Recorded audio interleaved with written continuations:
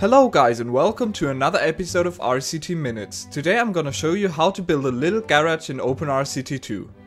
You can for example use this as a part of a house or a larger building. So we're gonna start by building a driveway. Then we're gonna change the terrain texture. As our next step we're gonna build three walls like that. Now we're gonna add a roof. As our garage door we're gonna use this wall right here which we can build after disabling clearance checks.